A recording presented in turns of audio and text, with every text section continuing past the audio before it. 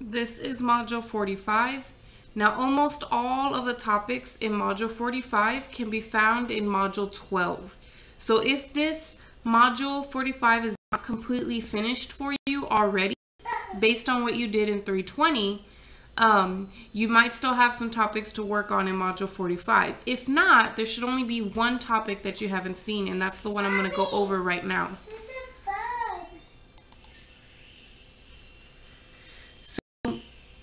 In order to access Module 12 video, to go into Canvas and go to the Math 320 course and then scroll in that home page so that you can find the video for Module 12. If you're missing anything from um, Module 45, those topics will be in that Module 12 video. Okay, those will also be the same for Module 46 and Module 47. Everything in these two modules are in that um, videos for module 12. I think there's two or three videos for module 12. So these two um, modules in ALEKS should already be completely mastered because if you finished everything in module 12, then these would already be finished as well. But if you missed something in module 12, then there may still be something in these two modules for you to finish. You can go use the videos for Module 12 as a reference to figure out how to work those out. Okay? Just look for the topic just like this and then find the problem. Okay.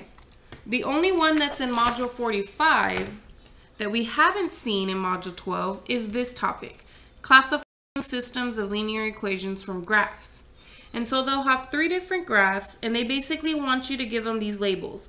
Consistent, independent, consistent dependent, or inconsistent. Okay?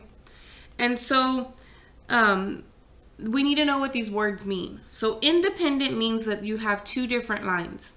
Dependent means that it actually is the same line. Consistent means that you have solutions, which means the graphs touch. Um, and they could touch at one spot or they could touch everywhere. And then inconsistent means they don't touch at all, so there's no solution. So for unique solution, it's when the graphs only touch at one point. No solution is when the graphs don't touch at all. And then infinitely many solutions is when they touch all over the entire line. Okay, so let's look at system A. System A has L1 and L2. L1 and L2 are obviously two different lines. They have completely different slopes. This one's got a positive slope, this one's got a negative slope. So that makes them independent. And they do in fact touch right here at this point, so that makes them consistent. So when I'm selecting my choices here, for this one, I'm going to select consistent, independent. And then do they have any solutions? Yes, they touch only at one spot, which means they're going to have a unique solution. It may have you type in that unique solution. And if it does, one, two, three, four, four for the x, and one, two, three for the y. So 4, 3 would be that unique solution.